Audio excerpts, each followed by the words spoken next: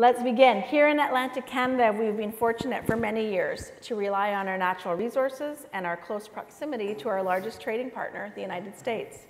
Growing access to international markets over the last few years is highlighting more than ever the need for businesses in our region to be globally competitive, not just with competitors around the world, but also here at home. Global competitiveness requires the technology and skills to meet the demand. So let me start this first question with you, David. As an economist, you've worked on economic development issues across Atlantic Canada. What do you see as the most relevant issues preventing Atlantic businesses from adopting new productivity technologies? So I think it's a complicated question with complicated answers. I think number one, um, governments in the region, because historically we've had a perceived surplus of labor, have incentivized job creation. So this has been the mantra of governments in all four Atlantic provinces for decades. And so that convinced companies to build labor-intensive business models, particularly our exporters. So the business model was lots of cheap labor uh, rather than investing in capital and equipment for productivity enhancement. And I think there's a hangover for that.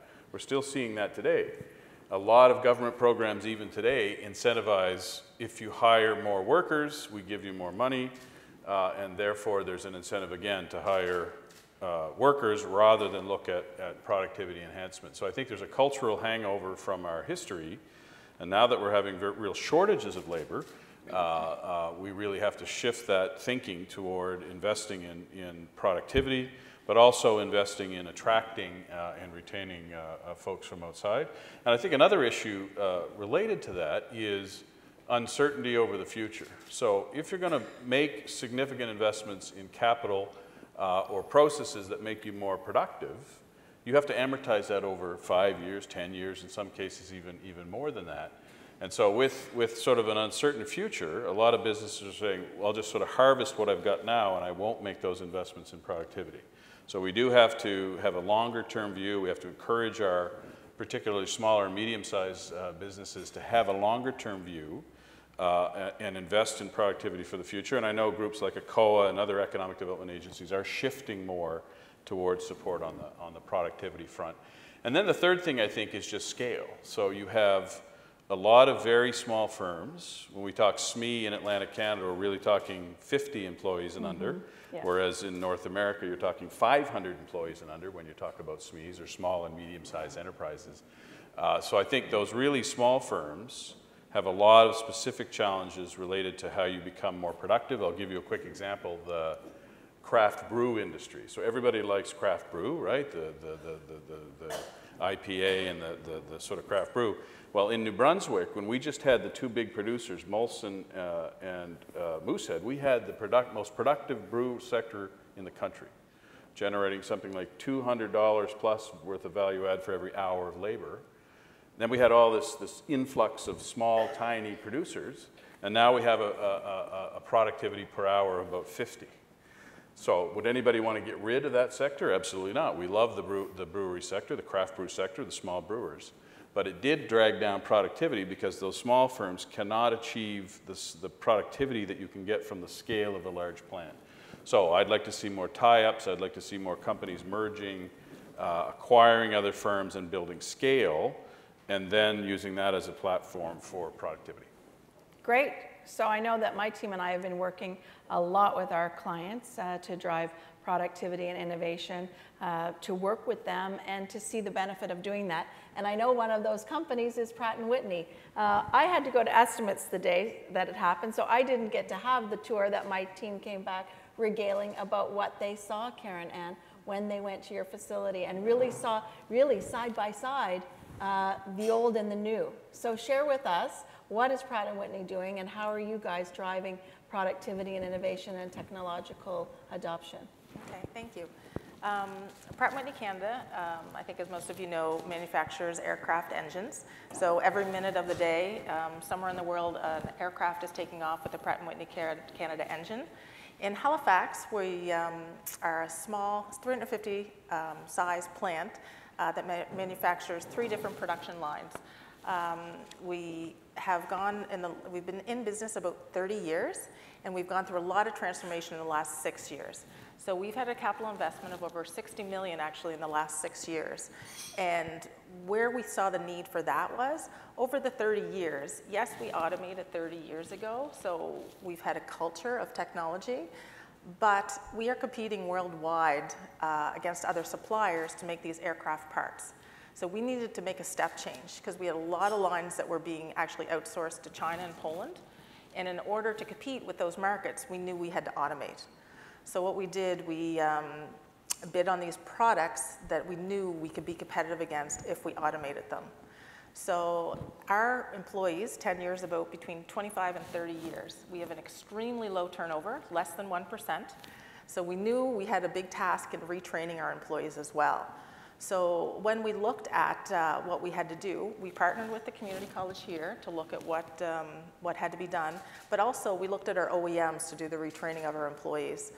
Uh, it's, uh, we mandated actually one of our biggest automation suppliers to hire someone locally for 18 months that had the right skill set to train our employees. So they were in our plant to train our employees for 18 months, which really was uh, um, invaluable.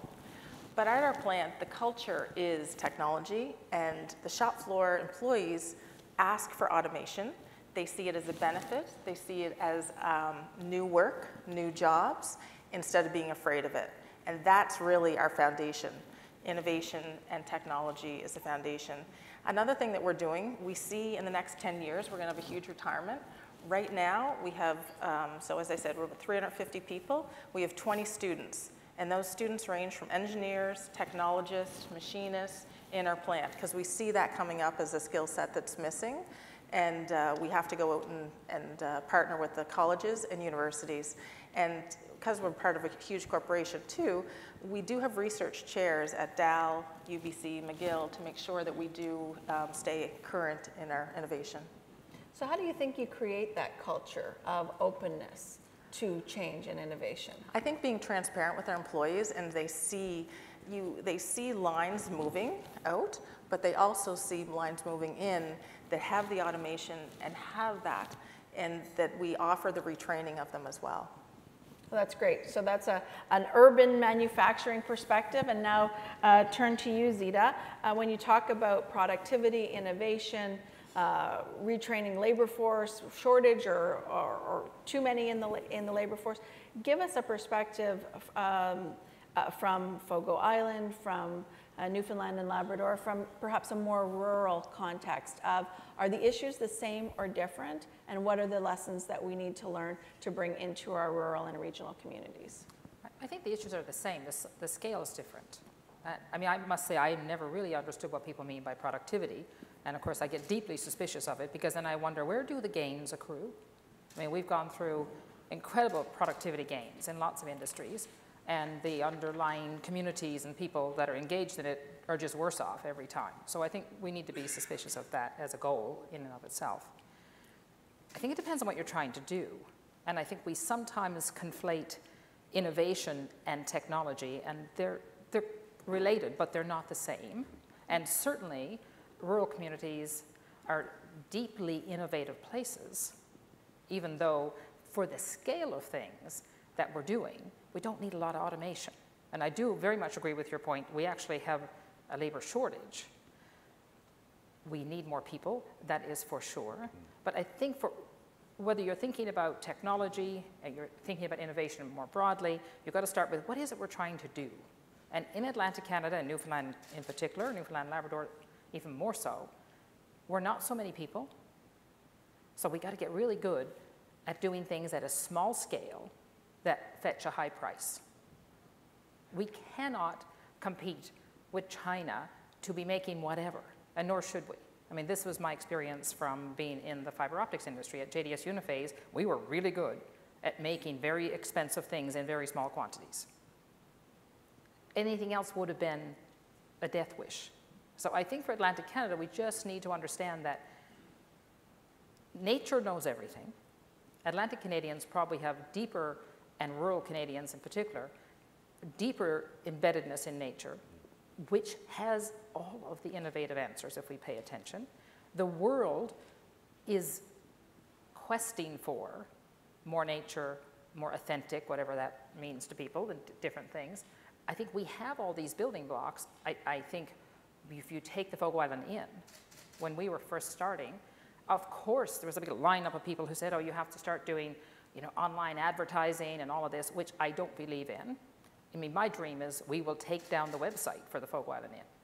And the people who were involved in creating that inn are deeply innovative people who have adapted. Most of them worked at the fish plant before or something, who have adapted to new careers. And I don't think they're frightened of innovation. I think the conversation is if we're going to automate everything and people are just going to make online bookings, that's a frightening conversation. And why would we do that anyway? Because that actually takes away the value we can offer, which is if you have a conversation with Elaine Penton on the phone, you will never forget it. And so I think we just need to be careful of wrong mindedness, especially at the smaller scale.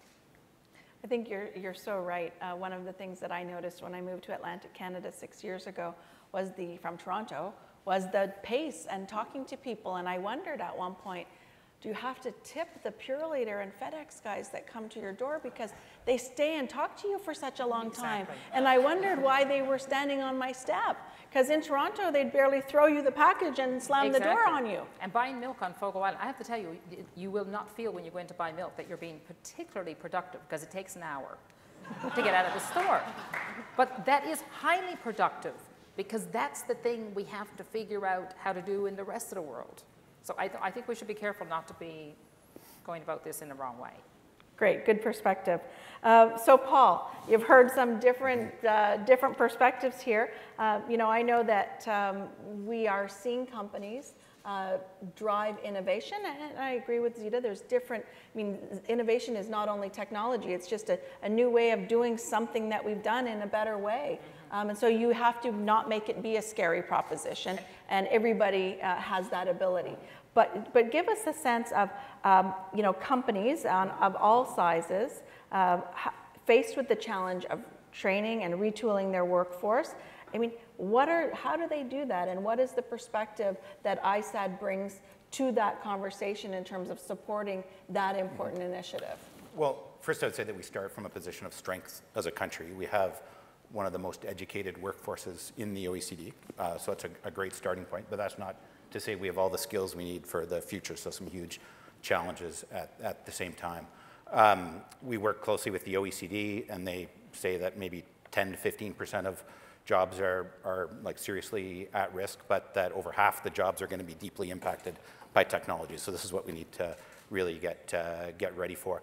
Uh, three areas of policy focus that I would, I guess, highlight. One is the pipeline of new skills into the into the workforce. Lots of traction on work integrated learning. Uh, the federal government's made some pretty significant investments in this space now, totaling over a billion dollars actually when you put uh, the last few budgets together, working with employers to, to make sure that pipeline of new talent into the workforce is aligned with, with the needs that we have. Um, secondary, the reality is that the workforce we're going to have in the next few years is actually the workforce that we have now. So it's, a lot of it is about upskilling the, the existing workers, and that's where I think we're less advanced. We need to, to think about some new models, uh, create a marketplace for, for upskilling the workforce where we can think about organizing the demand side better with employers, including SMEs who may not otherwise be able to, to access that, that marketplace, but also have institutional responses with, with new, new types of training. Some interesting collaborations emerging on that front, including some investments in a new future skills center that the federal government supported, but, but other areas where we trying to we want to be a catalyst, I guess, to create that, that marketplace of business to, and, and institutions to, to do the upskilling. And lastly, the, the talent that we can't build, we have to get. So it's about attracting global, global talent. And I think there's more areas to be leveraged there. Some flexibilities with um, this new global talent stream that, that has huge leverage. Uh, for every uh, foreign national that comes in through that program, there's many, many Canadians that get jobs out of it. So it's a, it's a key driver uh, of, of the economy. Um, but also foreign students are another huge source of, of labor. So uh, many dimensions of, of that pipeline of talent, the existing workforce, and then how we, how we bring in uh, talent from abroad to our three of the main policy thrusts that I would. So do you think there's anything particular in Atlantic Canada with our demographics, with the rurality or regional nature of our economy that are particular? I know with some of our clients, what I've observed with them is, is we work on productivity enhancements and improvements. it has just simply allowed them to do more because they're able to take their same workforce.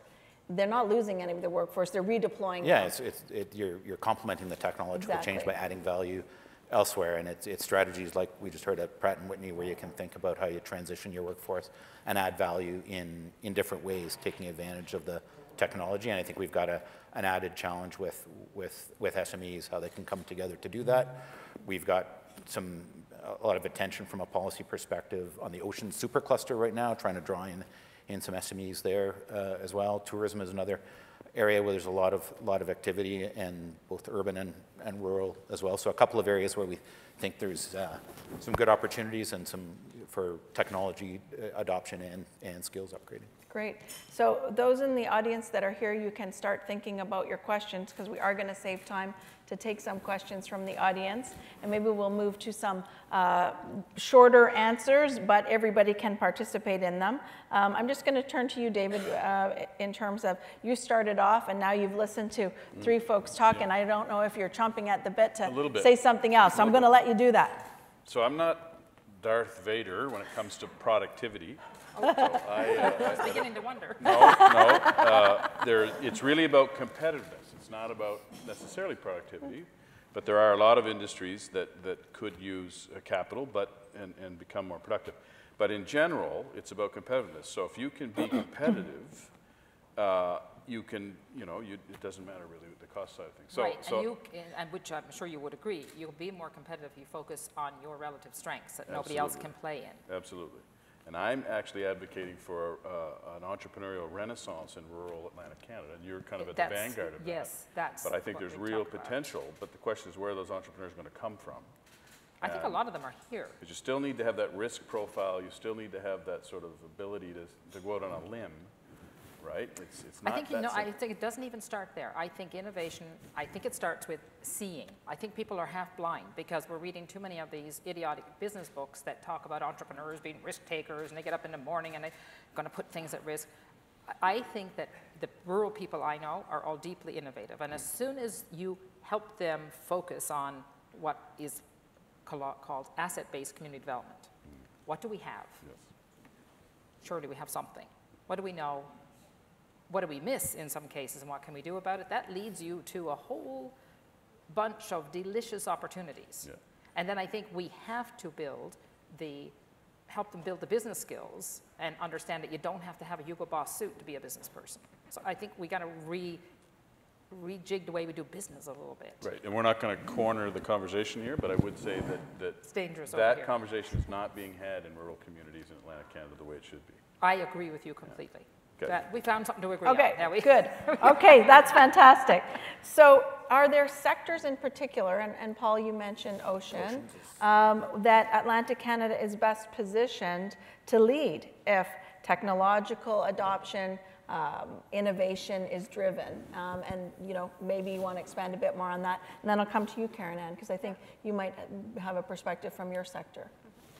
Well, I think two things are, are new with the, the supercluster approach. One is the, the nature of the partnerships, bringing together people that previously really didn't have relationships because of competition and bringing them around the same table, drawing in uh, SMEs at the same time. Uh, another is thinking about not only the verticals of the ocean sector that have maybe done some work together, but thinking about the, the commonality and some, some um, comparative advantage that we have as a nation by bringing those verticals together. I think there's a lot of sense of, there's huge ambition and potential uh, in terms of uh, economic development and, and value added that has been estimated out of, out of bringing that economy uh, to fruition. So sure. that's a big area. And the other one I mentioned was tourism, where there's, again, lots of research done on the, the untapped potential there that, uh, that is both urban, rural, and, and year-round in Canada.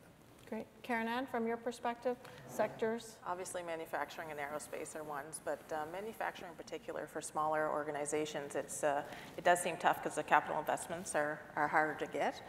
But um, it's an area I think that we haven't put a lot of focus on in, in Atlantic Canada's manufacturing. And I think that we can be competitive worldwide. And I agree with Zita, if you make um, something, we, all, all of our low complexity parts were outsourced. We only make very high complex parts in our plant. And that was a step change for us over the last 10 years. And I think that's what you have to think about when you're trying to expand and, and do that. You know, I really, I agree with you. I think one of the privileges in my role is to be able to get inside the doors of a Pratt and Whitney, of companies right across the province who are making really neat things and, and tell those stories. And it's, it is not common knowledge about how much is made here. Um, in, you know, telling the story of the 3,600 people that work for Michelin, people often say, Michelin tire, they're there. You know, how does, so that's an example of long-rooted history of, of making things and manufacturing things. We want to tell that story so much that we actually work with Maritime Made TV show to tell the stories of what's happening here uh, in, in, the, in the Maritimes. So Zita, how can businesses learn from each other? We know there's success stories out there. We probably don't talk enough about them. I think don't. that's a big part of it. But Yeah. so how can they learn from each other? Absolutely. So you're going to come over and see what we're doing. Uh, uh, exactly. And I think that we can um, look at the ones that have achieved global reach for local initiatives. So that's, I think that is the most important thing. We cannot make a future by figuring out what is it we have that goes through the front door and then out the back door of Amazon. I mean, I, I think the whole digital platform will never favor us as small places. I thank heavens for companies like Shopify that are actually building an alternative model. And I think whether it's government programs or economic studies and modeling, focusing on global reach for local initiatives is key. And what do we need to do to do that? I mean, the Fogo Island Inn or the Fogo Island furniture business is an example of that. You know, the post office was in a bit of a flack last week on, in Joe Batt's Arm because they couldn't figure out how to get something to Slovenia because they didn't think it, they didn't realize it was different than Slovakia. How on earth does that happen? Why does someone in Slovenia feel they need a chair from Fogo Island? Because that chair carries place. And we have to export culture, we have to export place, we have to export small. I'm talking about small communities. I think it, it- you, Karen, and I have to keep doing what you're doing, and that's absolutely right thinking, I think. Um, we need to wrestle with the digital world in a way that favors all places, big and small. And I know we've stated we have a public policy now around internet for all places. We, we need to hurry up on that bit. And we can't even begin, we shouldn't even be using any words that start with T, let alone say tourism, until people can figure out how to get there. You, know, these are like fundamental building blocks that, uh, if we really mean it, and you'd say, let's take a 100 year time horizon. Let's think about communities as going concerns. And then we have to figure out what is it we have to do to enable them. I don't think it's that hard. I just think we kind of have to do it. And it might cost a bit of money, but if you're investing for 100 years, people say to me, why would anyone in their right mind spend $41 million on an inn on Fogo Island where there's only 2,500 people? So, well, the last time I checked, Fogo Island was part of Newfoundland and Labrador. And I think that's still part of Canada. Have an election tomorrow. Um, You'll see. And, and so I don't see what we do in terms of adding value. I mean, we add $30 million to that local economy from that thing.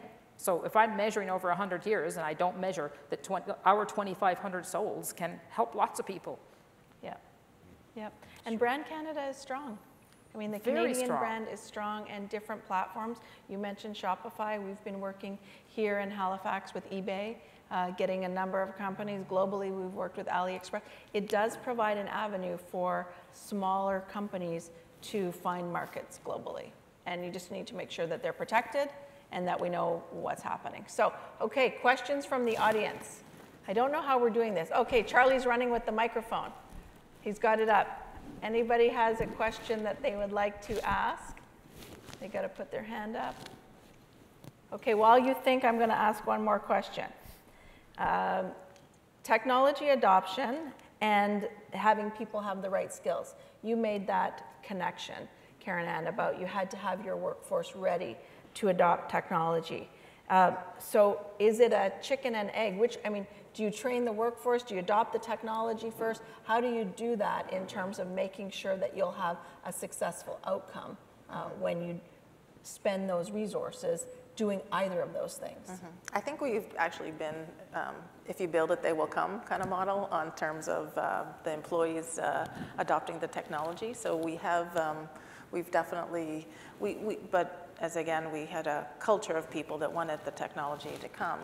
Um, But I think that's the kind of model that I, th- I think you have to go there first before you retrain your employees.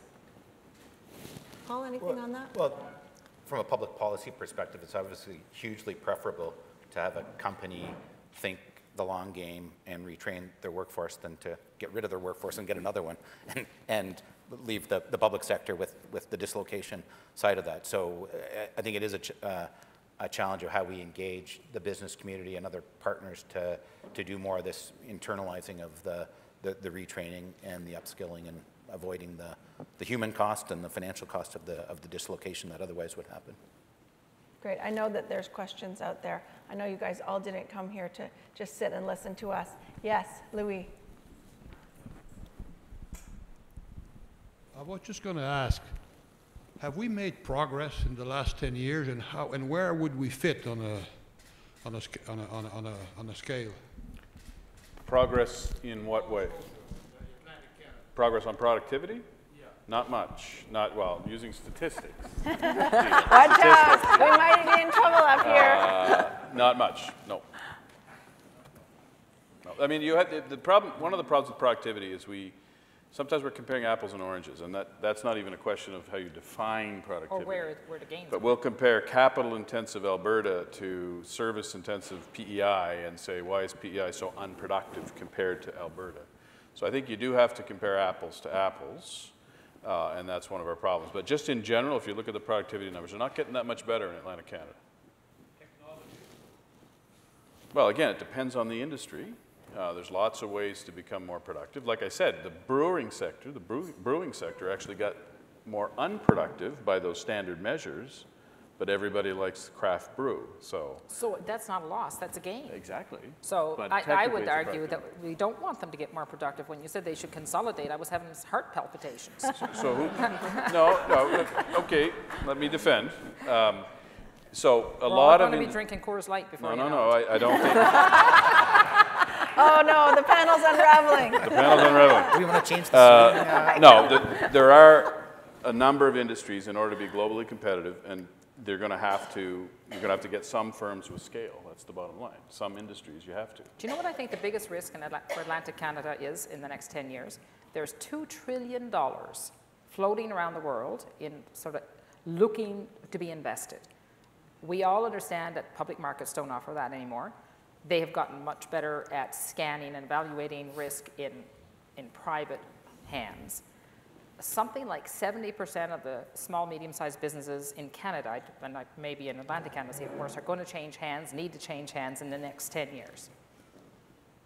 I think the biggest risk we face is not one single thing will be owned in Atlantic Canada anymore. That's why, why we need that new generation of entrepreneurs. Because we're seeing the insurance brokers are being taken over by national chains. We see funeral homes are being taken over, if you can believe it. Dentists, uh, dentists and optometrist o- offices. So there is, that's already happening very quietly across Mm-hmm. the region. These locally owned firms are now becoming part of nationally owned chains. But the question is, what's happening to that capital that's getting invested into those firms? It should be It's- turned into new investments in new industries But it's not, it leaves town. So that's, uh, well, so that's part of the public So, policy yeah. challenges. Where's that next generation? Because you can't stop the capital flow. I, but I mean, I think you can you facilitate, you can make, the strange thing is, it, uh, certainly in small and medium-sized places, there is no money. That $2 trillion is, believe me, it's, it's not on Fogo Island. When somebody, on, and now we just went through this, two businesses on Fogo Island need to transition. They've been in same hands for 30 years. And the, the local people that are there, there are buyers who want to do it, who have the skills. You can't get money. I- Although there's $2 trillion out there floating around. And so I think we need intermediaries like, like we play this role at Shorefast that help broker finding money, matching the entrepreneur to the money, because usually you just give up. It's the same with government programs. I mean, lots of energy and, and smart people working on program design. 90% of the people who could benefit from it either don't really understand it.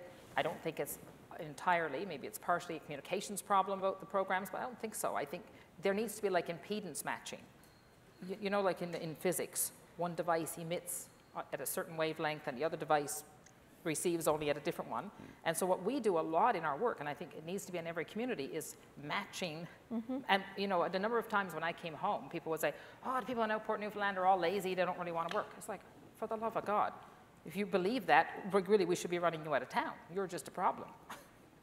But I think that that is, a, you know, the issue of um, aging owners of businesses and doing that matchmaking is one that we here in Nova Scotia have been talking about for a long period of time, really trying to figure out how do we, you know, how do we facilitate that matchmaking? How can we uh, find someone from here, someone new to here who wants to grow that business? Because the most heartbreaking thing is when you drive in a community like Meteghan, which I did last year, and a very successful business is just closed because there was no one to take it. That's even worse than it changing hands to terrible. someone in San Francisco. Right. Yes.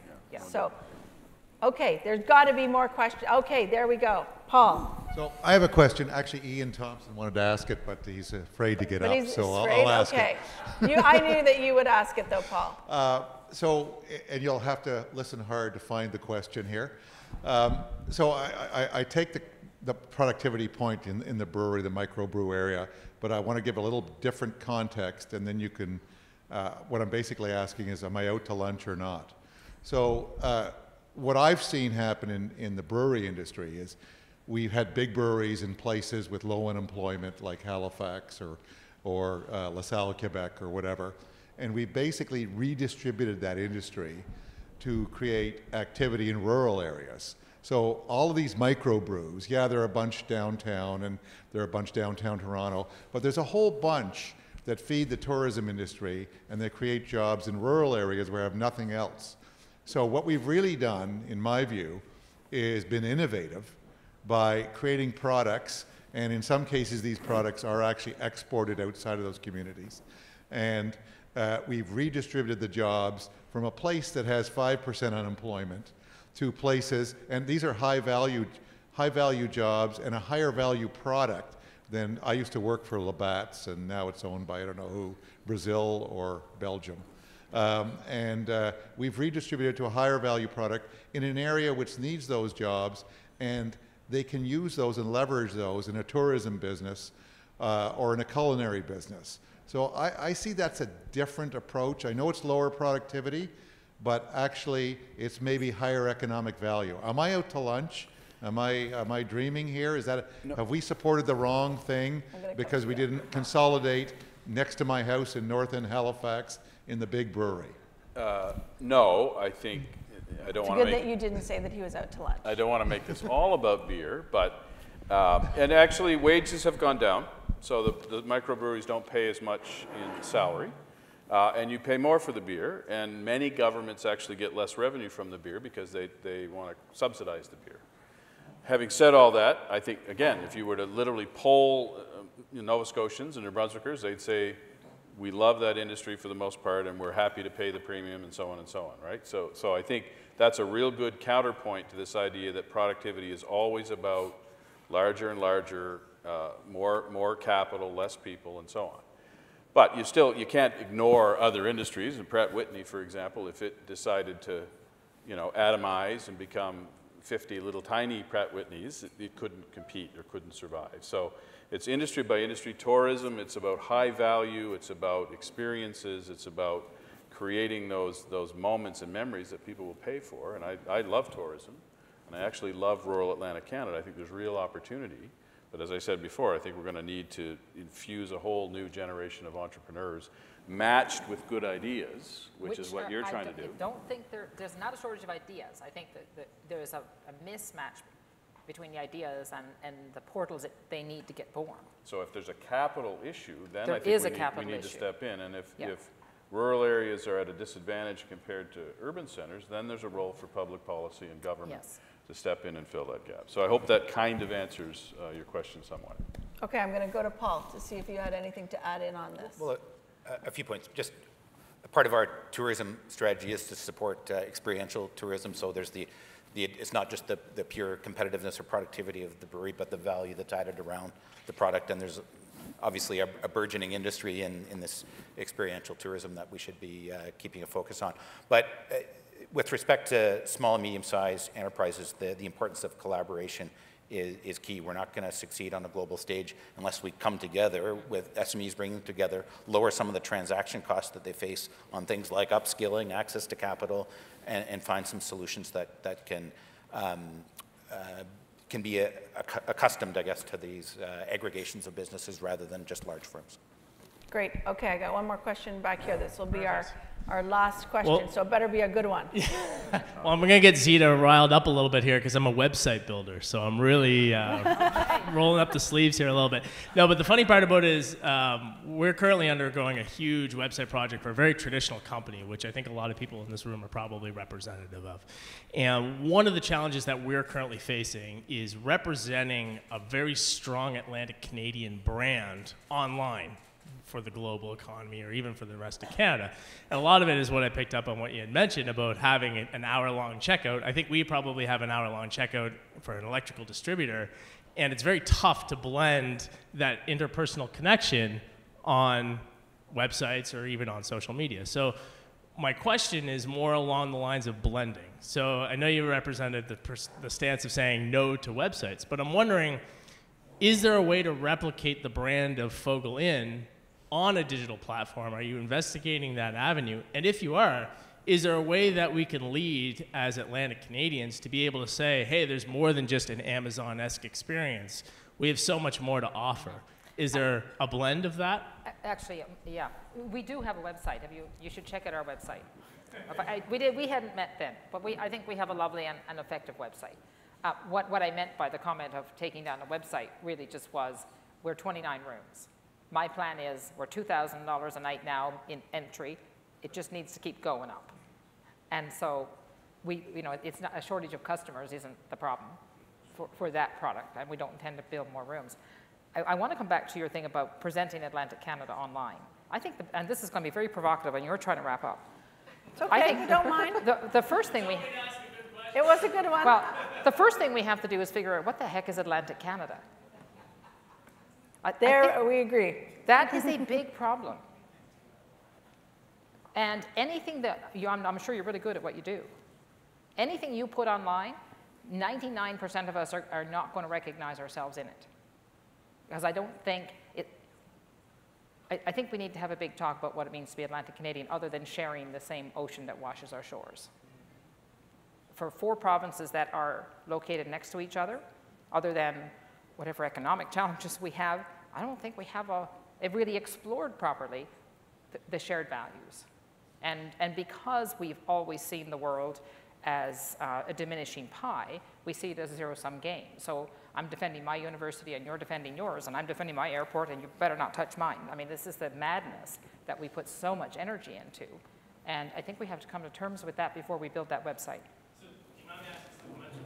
Do you think that there's a brand behind Atlantic Canada, Atlantic Canada that all of us could rally behind, whether it's Fogo Inn or it's Oh, oh, an existing brand. I thought you meant, can we? I, think we could prob, yes, I do think we could choose some, some known brands in Atlantic Canada and get behind. And that is a very tough thing to do, but it just takes a bit of courage. The problem is that Nova Scotia actually steals New Brunswick's brand, right? So Here we go. you, you go to Boston or New York and you eat uh, Nova Scotia salmon, right? But it, you look at the export numbers and there's no salmon being exported from Nova Scotia, it's all coming from New Brunswick. So I think, I think uh, partly it's our friends in Nova Scotia here that are, are the problem. No, just Oh, now the panel is really getting unruly. Okay, so what we're going to do, we are running out of time, but I think um, I'm going to let some folks have some last words. I think that Zita gave us a good question for the cocktail hour. What is our common values? What do we want collectively?